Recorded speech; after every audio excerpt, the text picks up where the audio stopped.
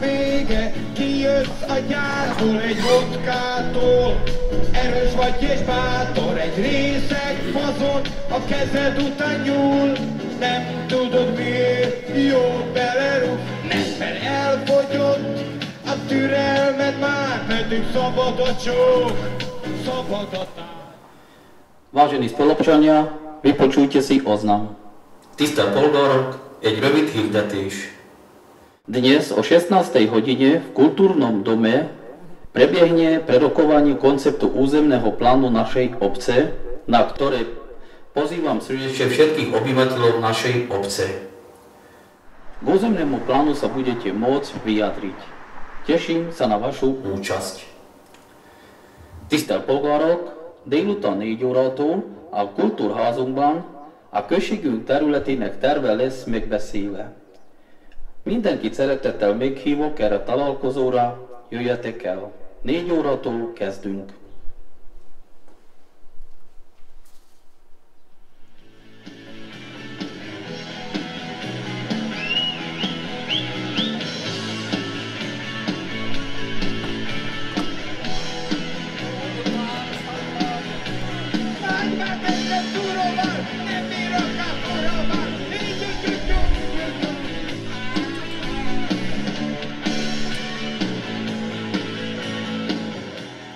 Našej obci som si podal kandidátku ako prvý Rom. Predo mnou stále starostovali bieli. No a keď sa to dozvedeli, že ja som tiež uchádzač na post starostu obce, väčšina obyvateľov sa trošku zamyslelo nad tým, že teraz mať Róma po toľkých rokoch v obci za starostu. No ale časom si to uvedomili, že aj ja niečo chcem a chcem ro- robiť nielen pre Rómov, ale pre všetkých obyvateľov našej obce, čo doteraz nefungovalo. Vlastne rozhodovali o nás a bez nás. Či v obci sme nemali žiadne informácie o tom, ako obec funguje, rozpočet je aký. No a keď ja som nastupoval, keď som vyhral, tak som občanom všetko predložil. Boli si vedomí toho, koľko máme financií, čo môžeme robiť. Čiže začal som rozvíjať našu obec. Daj nám také na rade potom. štýlky, štýlky nám daješ, toto, také veci. No jó, akkor osszuk a munkát.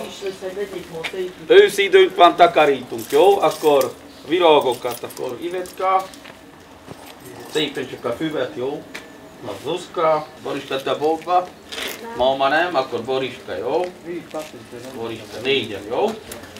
Virágokat szépen, elhúzni. Hogy mi azért mutasson, mert mi, mi szép az Szép, a, a virágokat hagyja, ami szép. No, azt ami mondom, ami szép, már azt csak hagyja. körülötte tudod, kis csöpet Meg a megalazol. füvet kap. Csak erebít, azt a kicsiket ad nekik, jó? No. Kimarad Zoli. Keszada. Zsolti. Így elmentek a kisfalkhoz, ahol mit hattunk a bordel, tudod? Ott maradt az a amit felszett követ, mindent ott rendet csináltok, jó? A fa körül készül, jó? Ahol ültettünk, harman, jó? Mindent ott szépen elhordani mindent, jó? Nem maradjon ott semmi, jó? No, csöpet vigyetek, gerebét is összehúzni, még azt úpraval csinálni, jó? Azért az mutasson. Vigyetek egy húrikot oda, gerebét, no, ti ugyanúgy, jó? No. Vigyetek oda ollókat, izét ott vágni a gáz, Béla tudja, mert tudod, többnyire ott a izé körül mindent, jó? Lent. No. Keď som nastupoval do úradu, bolo najťažšie venovať sa občanom, ktorí boli nezamestnaní.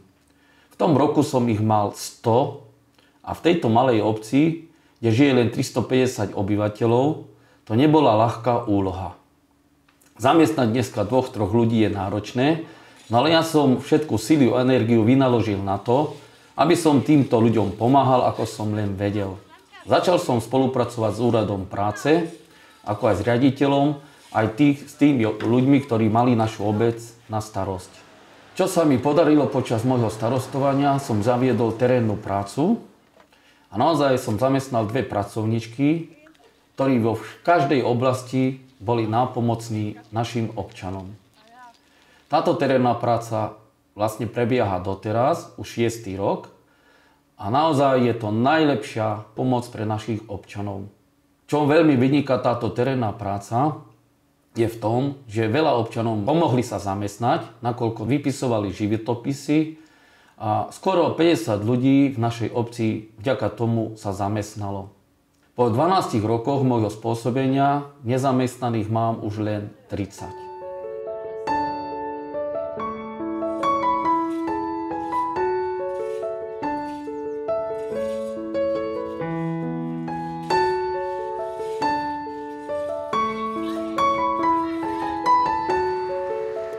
čo sa týka obyvateľstva našej obce, 85% je Rómov, 15% je majorita.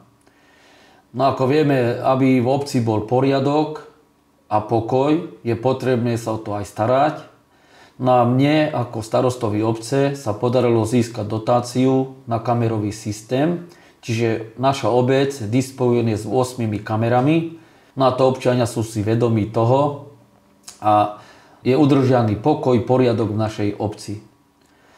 Čo sa týka verejného osvetlenia, sa nám tiež podarilo vynoviť. Celá obec je osvetlená ledkovými svetlami, je úspora energie na verejné osvetlenie a svietí sa u nás celú noc do rána.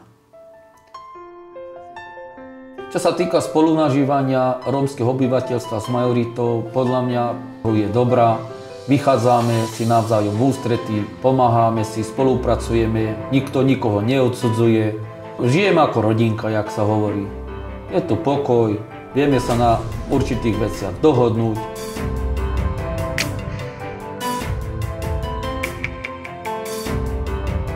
Vieme, že starší ľudia vymierajú, bohužiaľ, a málo detí sa rodí, ako aj všade. Po väčšine tých, ktorí si môžu zabezpečiť lepšiu budúcnosť, sa odsťahujú za prácou. Jediný taký závod, ktorý je v Gemerskej horke, tam sa väčšina ľudí zamestnalo aj robí.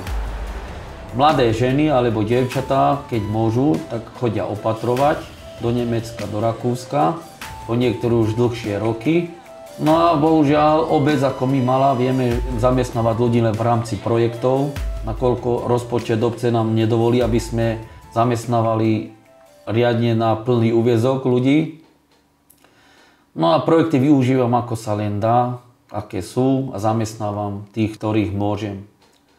Čo ma trápi je tá vzdelanosť, že väčšina mladých si nevytvára žiadne školy, vlastne ukončia 10-ročnú školskú dochádzku, ostávajú doma a potom žiadna budúcnosť. Nevedia sa zamestnať, no a takým ľuďom sa snažím pomáhať ja v rámci aktivačných prác, kde vlastne sa uchádzajú o prácu a ich zamestnáva.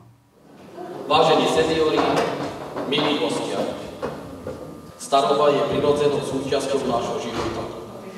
Nedá sa pred ňou uísť. Tento mesiac je pripomienka, že si máme vážiť a ctiť starších ľudí. Dávať im najavo svoju náklonnosť a lásku. Úcta by mala byť prirodzenou súčasťou nášho života, lebo vy, milí seniori, svojim vekom ste nadobudli rôzne skúsenosti ktoré nám odovzdávate deň čo deň. Milí seniori, v mene obecného zastupiteľstva, obecného úradu, ako aj vo svojom mene, vám želám predovšetkým pevné zdravie, šťastie, veľa radosti v kruhu vašich najbližších, pokoj v duši, veľa pozitívnej energie a spokojnosti. Babička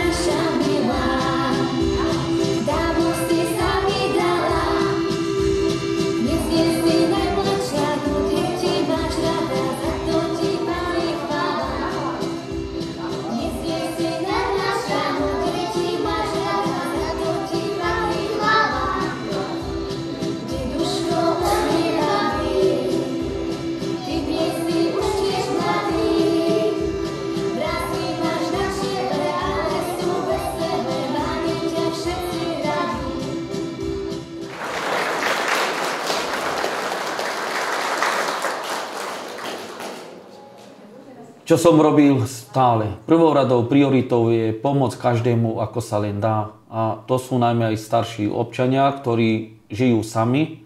A mojou srdcovou záležitosťou je ich nezanedbať, venovať sa im a pomáhať im, ako sa len dá.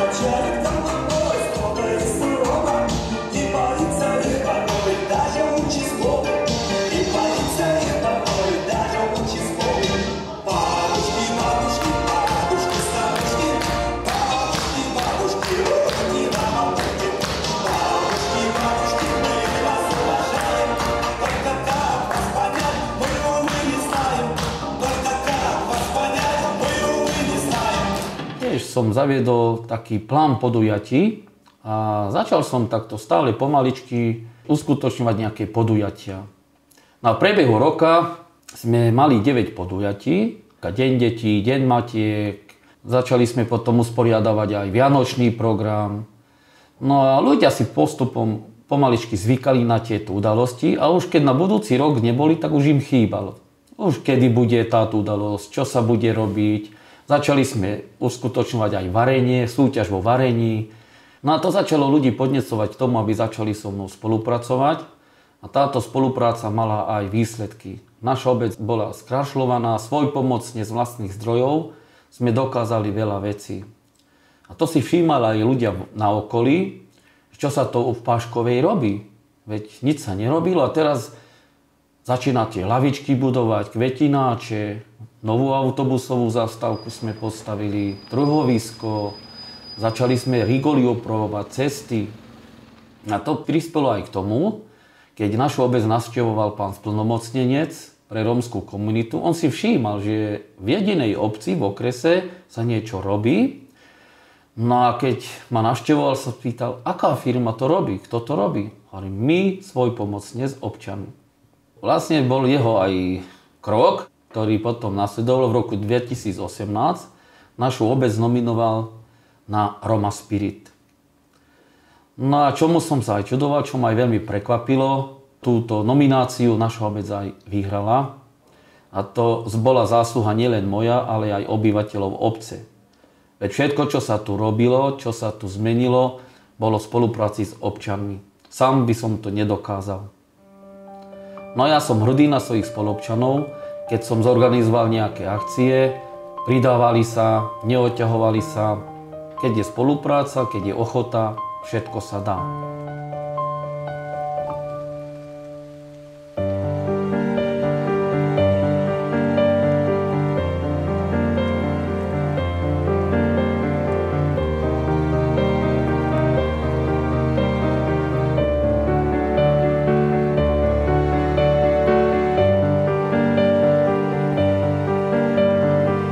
Tomu, aby sa v obci našej žilo, čo, na čom som si dal záležať, to bolo hneď na začiatku roka.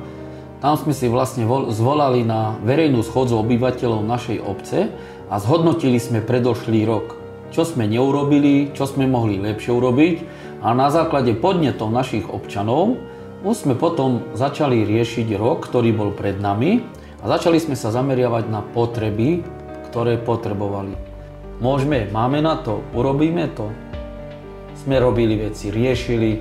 Tí ľudia potom boli spokojní, videli, že sa zaujímame ich a potom bol v obci pokoj, spolunažívanie dobré. A tak sa nám darili riešiť počas celého roka potreby, problémy, starosti v obci.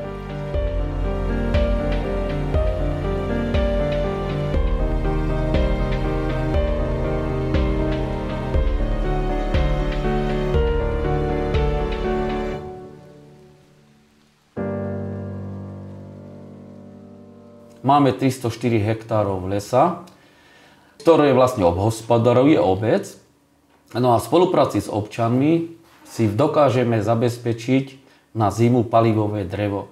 Tiež to robíme svojpomocne, partia chlapov sa dávame dokopy a vozíme obyvateľom obce za priateľnú cenu drevo. No a keďže nemáme plinofikáciu, každý kúri drevom, no a to si zabezpečujeme sami.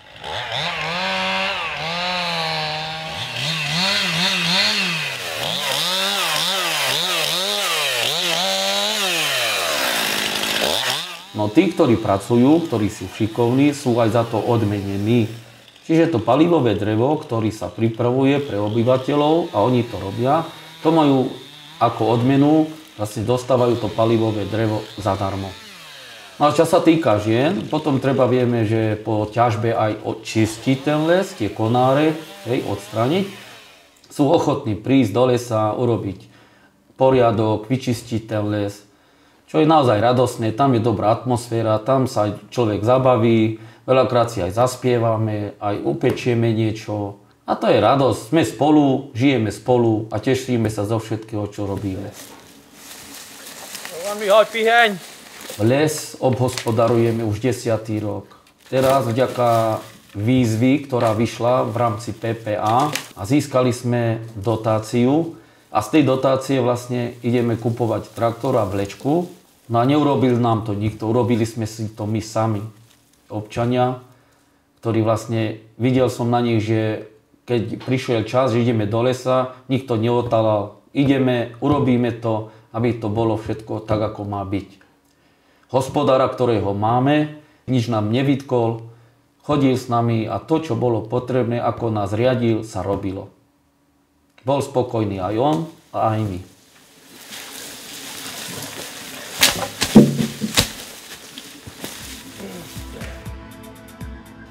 No čo sa týka infraštruktúry v našej obci, bohužiaľ bola zanedbaná, aj keď vodovod sa vybudoval, v roku 2002 bol skvoládovaný, ale občania sa nenapojili na verejný vodovod.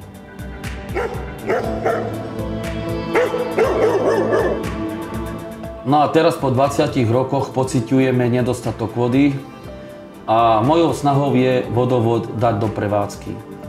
Dal som sa do spolupráci s vodárňami, a je to v štádiu riešenia. Verím, že sa nám to podarí a voda bude v obci.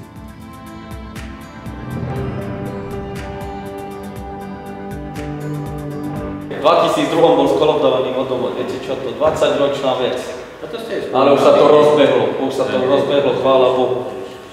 Niečo sa rieši. Tak prejdú, trasu prišli aj z Košic. No vidno, hej, že no, auto tak, nech to prejdu a už budem vedieť, na čom som, čo, aký postup. No. Som sa zúčastnil jednoho školenia, kde nám vlastne školiteľka pripomínala jednu vec, ktorá obec nemala, a to územný plán obce.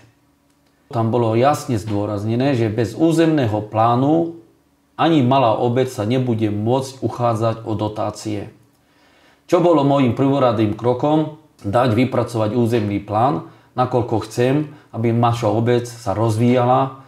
Chcem tu zaviesť infraštruktúru, ktorú nemáme, tiež budovať škôlku. Škôlku máme prenajatú, nemáme vlastnú. No a detičky v obci máme viac ako treba, ale kapacitne nám tá budova nevyhovuje. U vás tu niekedy bola zastávka železničná a zrušili ju, hej, lebo vlastne osobná doprava železničná e, prestala fungovať. No a v územnom pláne požadujeme, aby sa obnovila táto osobná železničná doprava, aby začal chodiť vlak aj pre ľudí, nielen pre náklad. Viete, územný plán obce nie je jednoduchá záležitosť. Niečo to stojí, je za tým veľa práce, no ale ja som si dal za cieľ ten územný plán mať. Chcem, aby naša obec sa skrašľovala, aby sa tu ľudia cítili lepšie, infraštruktúra by fungovala. Bez územného plánu by sme to nemohli dokázať. Na územný plán už máme v stádiu ukončenia. Verím, že sa nám podarí úspešne dotiahnuť až do konca. No a verím, že do budúcnosti na základe územného plánu budeme môcť čerpať dotácie, ktorú naša obec využije, aby sa rozvíjala.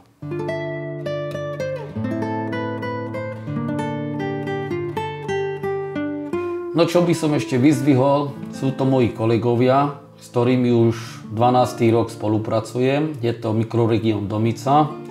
A za tohto obdobia, za tých 12 rokov, som jediný rómsky starosta, ktorý s nimi pracuje. Keď som sa s nimi zoznámil, z ne vycítili, že so mnou sa spolupracovať dá.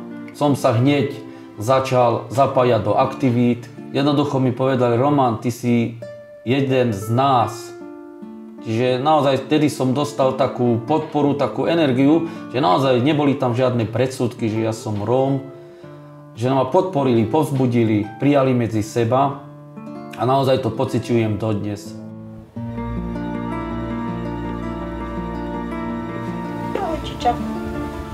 No a základným pilierom k mojej práci je obecné zastupiteľstvo. Čo sa mi pošťastilo, v prvom volebnom období sa do zastupiteľstva dostali štyri rómsky poslanci, ktorí naozaj ma vo všetkom, ako len mohli, podporili. Počas druhého obdobia už boli len dvaja a počas tretieho obdobia už len jeden. Dôvod neviem, prečo naši spolupčania sa tak zachovali pri voľbách, ale viete, bez obecného zastupiteľstva starosta nemôže nič. Prvé obdobie bolo vynikajúce, nakoľko som dostal podporu. Už v druhom volebnom období zo strany poslancov bolo už menej a v treťom období som už bojoval. Dodnes dôvod neviem prečo a čo veľmi ovplyvnilo moju prácu, bolo to covidové obdobie, ktoré sme prekonali všetci. Dva roky sa nič nemohlo robiť, nemohli sme spolupracovať a to trošku aj odradilo tých ľudí od všetkého, čo sa v obci malo robiť.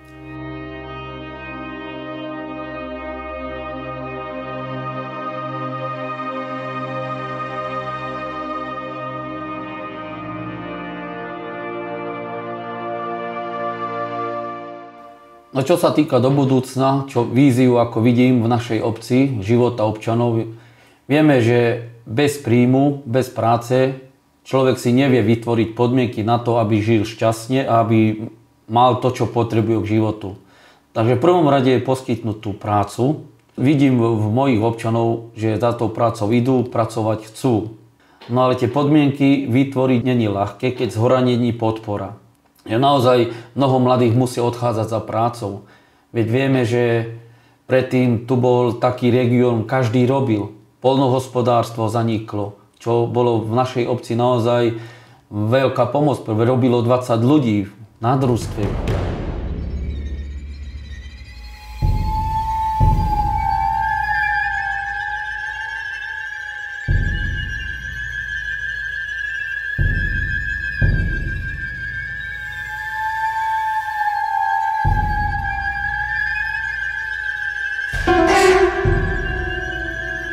Podľa mňa, keby sa obnovilo polnohospodárska výroba, nikto by nepovedal, že nechce robiť.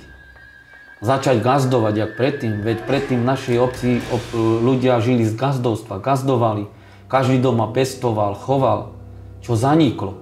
A podľa mňa na to by sa mal štát zamerať, pomôcť tým obciam, kde je možnosť, poskytnúť tú pomocnú ruku, vytvoriť podniky sociálne, a tých ľudí zamestnať. Viem, že na Slovensku sa v niektorých obciach darí, že sa to robí, ale na Gemery, u nás, my sme ako zabudnutí. A tu nikto nepríde, nikto sa o to nezaujíma z hora. A to je taká prekážka pre nás, že nemáme podmienky, nemáme možnosti vytvárať tie podniky, aby sa tí ľudia zamestnali. To, čo ja potrebujem v obci, musíte prísť pozrieť.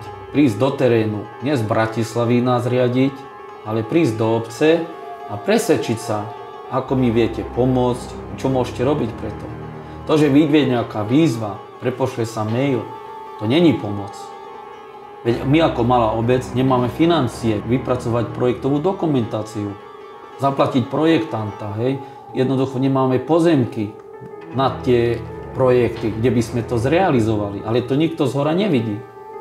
A tým pádom nevieme sa zapájať do tých projektov, nevieme pomôcť tým občanom sme zastavení, nemôžeme nič. Na to by mali tí kompetentní vlastne prísť, pozrieť a pomôcť. Tiež som počas celého života robil, chodil som do sveta, nakoľko som sa musel postarať o potreby štyroch detí, aby mali nejaké školy. A to bol mojim zámerom, že peniaze nebudú braniť mojim deťom, aby nemali nejaké školy. No a robil som roboty, ktoré som nikdy v živote nerobil. Lebo som chcel zarobiť, tak tú prácu som musel urobiť. A vtedy som si tak povedal v sebe, že naozaj, že neexistuje, že čo sa nedá alebo nemôže. Človek sa naučí a musí chcieť. Na túto zásadu som začal vštepovať aj mojim občanom, že to, čo, že sa nedá alebo nemôže, to mi nikdy nepovedzte. Človek, keď nevie, sa naučí a to, že sa nedá, to treba chcieť.